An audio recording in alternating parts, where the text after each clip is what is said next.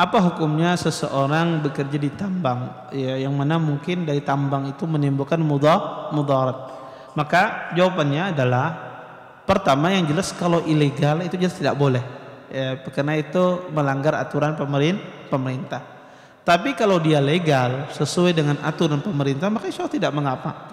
Karena pada asalnya itu pemimpin tidak mungkin dia mengizinkan kalau seandainya itu menimbulkan mudah mudarat tapi kalau seandainya di sini Ustaz, pemimpinnya kong kali kong misalnya. Ya, maka itu urusan dia dengan Allah Subhanahu wa taala. Kita tidak tahu.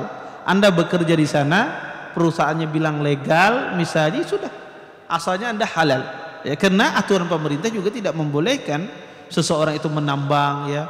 Maka ada aturan tertentu yang harus dipenuh, dipenuhi ya, karena ada izin tertentu yang harus dipenuhi. Karena itu tujuannya adalah agar tidak menimbulkan mudarat, tidak menimbulkan longsor, kalau sudah selesai menambang ditanami kembali ditutup kembali ada aturan-aturan demikian. Yang jelas kalau sesuai dengan aturan pemerintah legal maka itu halal tentunya.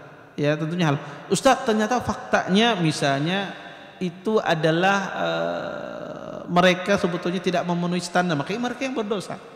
Ya mereka yang yang berdosa. Kalau kita tahu demikian ya sudah.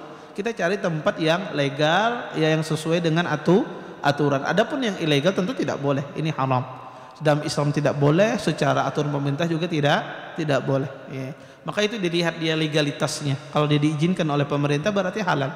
Kalau terjadi misalnya musibah, maka bisa jadi itu akibat salah hitung, salah perkiraan bisa jadi. Kalau orang itu akibat salah perkiraan ya dia tidak berdosa. Atau bisa jadi akibat orang tersebut emang tidak memenuhi standarnya, perusahaannya tidak memenuhi apa yang dimin, diminta. Kemudian di situ ada kelalaian mungkin dari pihak pemerintah bisa jadi.